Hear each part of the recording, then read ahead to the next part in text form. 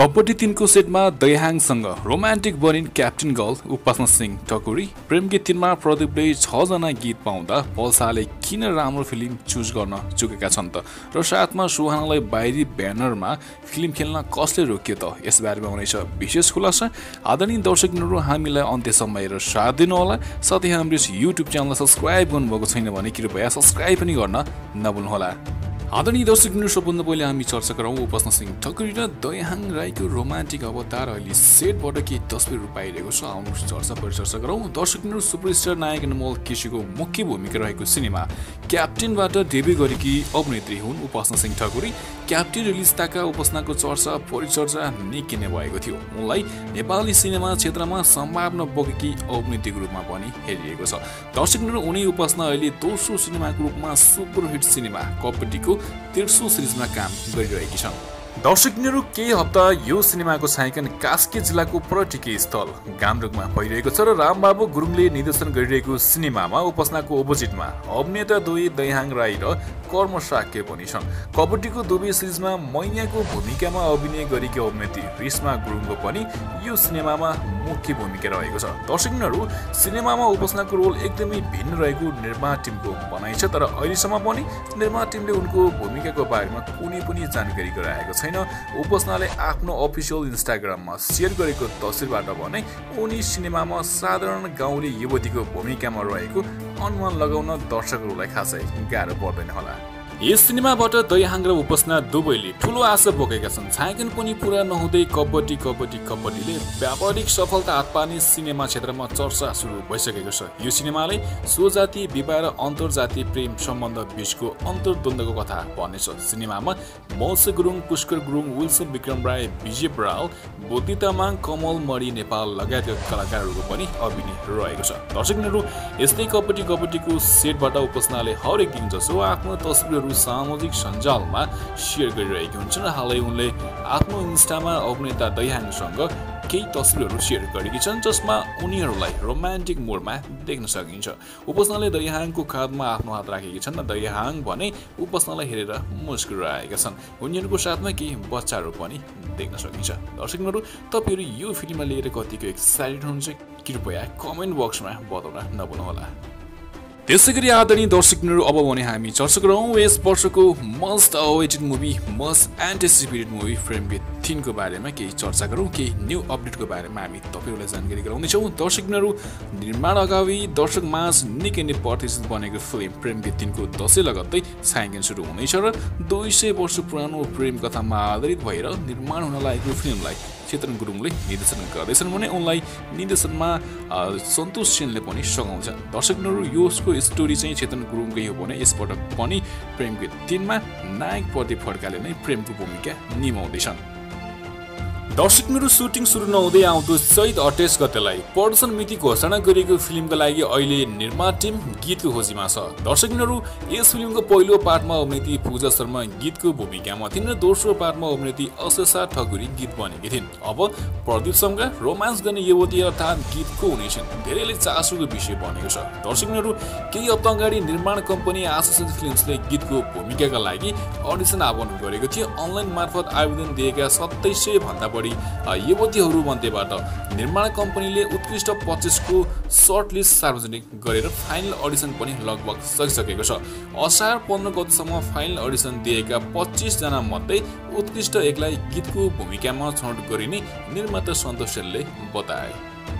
सन्तोष सेनले भने फाइनल अडिसनका लागि छान्नु भएका पच्चिसजना मध्ये छजना विदेशबाट हुनुहुन्थ्यो। अहिले उहाँहरूको अनलाइनबाट अडिसन भइरहेको छ। चारजनाको अडिसन भइसकेका छौँ र केही दिनमा फाइनल अडिसन पुरा हुनेछ।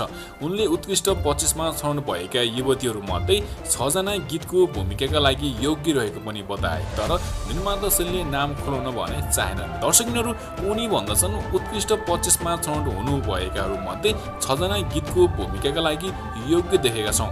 उहाँहरूको अभिनय क्षमता लुक्स उचाइ सुन्दरता गीत क्यारेक्टरका लागि सुहाउँदो छ प्रदीपसँग केमिस्ट्री पनि सुहाउँछ। अब उहाँहरू मध्येबाट एकजनालाई गीत क्यारेक्टरमा छान्नेछौँ। गीतको भूमिकाका लागि उत्कृष्ट पच्चिसमा छानिएका युवतीहरूमा फिल्ममा अभिनय गरिसकेका अभिनेत्रीदेखि चलेका मोडलहरूसम्म पनि छन्। हजुर दर्शकहरू तपाईँहरू प्रेमकी तिनकी नायिका गीतलाई हेर्न कतिको एक्साइटेड हुनुहुन्छ?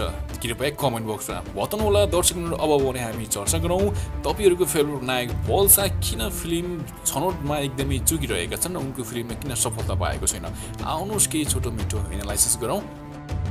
दर्शकहरू चक्लेटी अभिनेता नायक पल्सा युवा पुस्तामा निकै नै लोकप्रिय छन् दर्शकहरू पाँच सय भन्दा बढी म्युजिक भिडियोमा अभिनय गरेर लोकलाग्दो फ्यान फलोइङ बनाएका उनलाई भिट्रायन निर्देशक विकास र शास्त्रले आफ्नो सुपरहिट फिल्म नाइन नभन्लो चारबाट लिड रोलमा ब्रेक दिएका थिए। नाइन नभन्लो चारबाट उनले सुख डेब्यू गरे किनकि फिल्मले बक्स अफिसमा लगानी सुरक्षित गर्न सफल भएको थियो तर पलको अभिनयको चर्चा भने हुन सकेन। दर्शक समीक्षक दुवैले उनको अभिनयको आलोचना गरे। हुन त निर्देशक आचार्यले उनलाई राम्रो अभिनय गर्न आउने कलाकारको रूपमा लिएका पनि थिएनन्। म्युजिक भिडियोमा बनाएको क्रेजको फाइदा उठाउन उनले पललाई साइन गराएका थिए। दर्शकबिनहरू डेब्यु फिल्म हिट भएपछि पललाई लिएर फिल्म बनाउन निर्माता बीच तानातान सुरु भएको थियो तर उनले दर्जन बढी फिल्म रिजेक्ट गरेर करियरको दोस्रो फिल्मको रूपमा म यस्तो गीत गाउँछु रोजेका थिए। यो फिल्म ब्लकबस्टर साबित भयो तर फेरि उनको अभिनयको चर्चा भएन। फिल्मको सफलताको श्रेय भने पाए उनको तेस्रो फिल्म जोनी जेन्टलम्यान भने बक्स अफिसमा सुपर फ्लप भयो। पोस्टरको पैसा समेत उठाउन सकेको थिएन। दर्शकहरू तेस्रो फिल्मको असफलताले नराम्रोसँग हच्किएका पल अभिनेता चौथो फिल्म शत्रु गते ब्लकबस्टर साबित भयो तर फेरि उनको अभिनयको वावै कतै पनि भएन न त उनले फिल्मको सफलताको श्रेय नै पाए। पाए त हरिवंश आचार्य र दीपक राज गिरीले। यो फिल्मले उनलाई एउटा कुरा सिकायो होलमुलका फिल्म गर्नु करियरका लागि निकै नराम्रो हुँदो रहेछ भनेर। अनि उनी अहिले सोलो हिरो मात्र हुने चक्करमा लागेका छन्। दर्शकहरू शत्रु गति रिलिजको करिब आठ महिना उनले कुनै पनि फिल्महरू साइन गरेनन्। फिल्म बेतामा उनलाई फिल्म नै अफर नभएको चर्चा समेत भएको थियो। यसबीच उनी केही हप्ताको अन्तरमा दुई फिल्ममा अनुबन्ध भए। हृदयभरि र वीर विक्रम दुई। हृदयभरिको अहिले धमधम छायाङ्कन भइरहेको छ भने वीर विक्रम दुई प्रदर्शनमा आइसकेको छ। यस फिल्मबाट करिब चौध महिनापछि उनी ठुलो पर्दामा फर्केका हुन्। दर्शकहरू फिल्म रिलिजको सङ्घर्षमा रहँदा उनले भनेका थिए मैले शत्रुकति रिलिजपछि लामो समय कुनै फिल्म साइन नगर्नुको पछाडि राम्रो टिम र राम्रो स्क्रिप्ट नपाएर हो। वीर विक्रम दुईको स्क्रिप्ट राम्रो लाग्यो। मैले देखाउन नपाएको र गर्न चाहेको कुरा यसमा पाएँ। टिम पनि एकदमै राम्रो भेटे। यसैले फिल्म गर्न राजी भए। उनले यस फिल्ममा आफ्नो अभिनयमा निखारता पाउने र दर्शक समीक्षाको गाली नखाने दावी समेत गरेका थिए। दर्शकहरू फिल्मबाट अभिनेता पल्सा कति सन्तुष्ट छन् त्यो उनीले जान्दछन् तर उनको अभिनयले दर्शक र समीक्षकलाई सन्तुष्ट बनाउन भने सकेको छैन।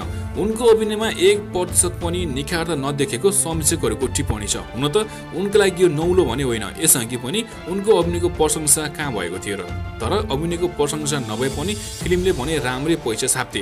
यसपटक भने तिर्सो हुन सकेन। हो दर्शकहरू मल्टिप्लेक्सबाट प्रदर्शनको दुई हप्तामा नै उत्रेको वीर विक्रम दुई यस वर्षको फ्लप फिल्मको सूचीमा सूचीकृत भएको छ।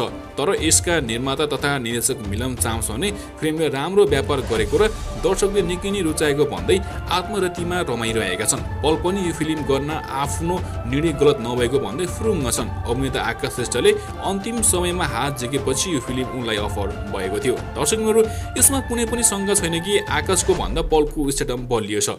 निर्देशक चाम्स पनि पललाई फिल्ममा साइन गराउँदा आफ्नो लगानी नेपालबाट सुरक्षित हुनेमा खुसी थिए। तर मिडिया र बजारमा चलेको पलको स्टाडमको चर्चा हलमा देखिएन मिडियामा मात्र देखियो। दर्शकहरू शनिबार धेरै थोरै देखिएको आइतबारबाट उनको स्टाडमको नाम निशाना देखिएको थिएन। हुन त फिल्म राम्रो भए कलाकारको स्टाडमले पनि काम गर्छ। फिल्म नै कमजोर छ भने जति नै ठुलो स्टार भए पनि केही लाग्दैन। दर्शकहरू स्टारडमले फिल्म चल्ने भए प्रदीप खड्काको रोज र लभ इटिसन चल्ने थिए। दर्शकबाट मेगा स्टारको बोधी पाएका नायक अनमोल केसीको प्रि र क्याप्टेनले पनि हलमा राम्रो व्यापार गर्न सकेको थिएन। त्यसैले दर्शकबिनहरू प्रायोजित प्रशंसामा रमाउनु भन्दा पल्साले राम्रो फिल्म छनौटमा ध्यान दिन अब अत्यन्त जरुरी छ। दर्शकबिनहरू यस विषयमा तपाईँहरू के भन्न चाहनुहुन्छ पल्सालाई कृपया कमेन्ट बक्समा बताउनुहोला। Alright guys, let's move on to another new topic. दर्शकहरू सो आउन थापालाई कसले रोक्यो त बाहिरी ब्यानरमा फिल्म खेल्नलाई आउनु चर्चा गरौँ? अबको यो रिपोर्ट। दर्शकहरू अभिनेत्री तथा निर्देशक झरन थापाकी छोरी सुहना थापाले ए मेरो हजुर तिनबाट डेब्यू गरेकी हुन् र उक्त फिल्म बक्स अफिसमा सुपर हिट भएपछि सुहानालाई भविष्यको सुपर स्टार बनिन थालिएको छ। दर्शकहरू डेब्यू फिल्ममा उनले गरेको अभिनयको जो कहिले प्रशंसा गरेका छन्। दर्शक र समीक्षक दुवैले उनको अभिनयलाई अपत्यारी दरिलो बताएका छन्। अभिनेता अनमोल केसीसँग उनको केमिस्ट्री पनि निकै सुहाएको प्रतिक्रियाहरू मिलेको छ। पुनः दुईलाई सिल्भर स्क्रिनमा हेर्न दर्शकको ठुलो इच्छा समेत प्रकट गरेका छन्। तर सुहानाको दोस्रो फिल्म कुन हुनेछ त? अहिलेसम्म पक्का भएको छैन। निर्देशक झर्न थापा भने भागवत गीता सुरु गर्ने सोचमा छिन् यसमा सुहाना र अनमोल केसीलाई दोहोऱ्याउने उनको इच्छा छ। वितरकले ए मेरो हजुर चार बनाउन आग्रह गरिरहेका छन्। यसकारण उनले कुन फिल्म अगाडि गर्ने भन्नेमा निर्णय लिन सकेकी छैनन्। भागवत गीता भन्दा अगाडि ए मेरो हजुर चार बनेको खण्डमा भने अनमोल सुहाना भने दोहोरिने छैनन्। दर्शकबिनहरू देवी फिल्मको सफलतापछि अभिनेत्री सुहाना थापाले बाहिरी ब्यानरको फिल्मबाट पनि अफरहरू आइरहेको छ तर उनले बाहिरी ब्यानरबाट अफर आएको कुनै फिल्महरू पनि स्वीकार गरेकी छैनन्। यसको प्रमुख कारण हो सुनिल कुमार थापा र झरना थापालाई मानिएको छ। कतै सुहानालाई बाहिरी ब्यानरको फिल्म गर्न बन्दोबस्त लगाइएको छैन। फिल्म बिर्तामा चर्चा सुरु हुन थालेको छ। केही समय अगाडि फिल्म एमिरो हजुर तिनको प्रदर्शनका लागि आमा झर्नासँग युरोप उड्नुभन्दा अगाडि उनलाई त्रिभुवन विमानस्थलमा पत्रकारले उनलाई प्रश्न गरेका थिए। तपाईँले बाहिरी ब्यानरको फिल्म अफर नआएको कि नगरेको? उनले जवाबमा भनिन् केही दिन अगाडि बुबा सुनिल कुमार थापालाई फोन आएको थियो। उहाँले अध्ययन पुरा गरेपछि मात्र छोरीले बाहिरी ब्यानरको फिल्म खेल्छ भनेर फोन राख्नुभयो। बाहिरी ब्यानरको फिल्म गर्न पहिला अध्ययन पुरा गर्न आवश्यक ठान्ने निर्माता थापाले आफ्नो प्रोडक्सनको फिल्ममा काम गर्न चाहिँ छोरीको पढाइ सघाउन किन आवश्यक ठानेनन्? प्रश्न उठ्नु स्वाभाविक हो।